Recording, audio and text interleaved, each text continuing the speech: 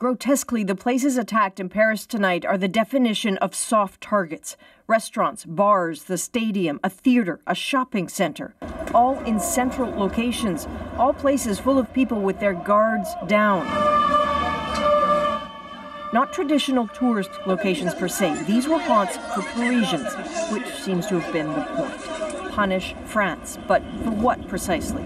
Witnesses talk of hearing one gunman shout that this was for Syria. Which means certain places will be closed. The French president, not long after fleeing the stadium, announced France was closing its borders. From reporters on the ground, that seemed aimed as much at keeping people in as keeping others out. France has never done this, by the way. The military has also been mobilized, and Paris is now under curfew, and that hasn't happened since the Second World War. It was the U.S. president who first said out loud what seemed so obvious to those watching that these were coordinated attacks. They must have been. And the weaponry described AK 47s, gas cylinders packed with shrapnel, familiar tools of Al Qaeda or ISIS inspired groups.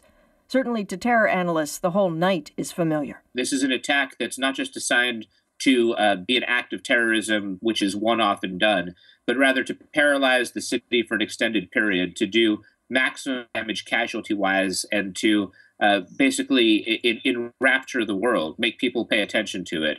It's an attack style that we saw used in Mumbai, India back in 2008, replicated to some extent in uh, Kenya, Nairobi, Kenya, with uh, an attack at the Westgate Mall, which used the same principles. And while no one yet knows who did this, certainly ISIS supporters are celebrating online, promising more to come in cities around the world. That is typical, almost daily talk for them, but on nights like this one, those words chill security agencies. Especially because this is France. Look at where these attacks occurred.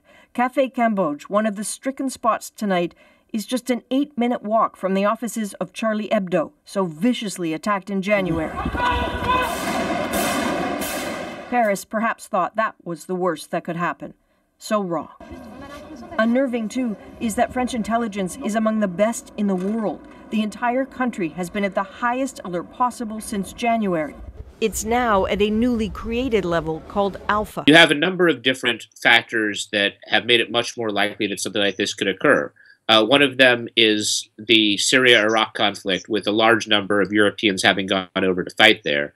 Uh, you have the uh, disclosure of details of, of Western surveillance programs, which makes it easier for militants to avoid detection. And you also have a proliferation of encryption technologies, which can thwart surveillance efforts. Parisians are already talking of their resilience again, offering places to strangers to seek shelter publicly saying they are not afraid. And listen to this. Soccer fans singing the anthem as they are evacuated from the stadium. United, yes, but you must know the security agencies are deeply nervous in this moment, and they likely aren't the only ones. Adrienne Arsenault, CBC News, Toronto.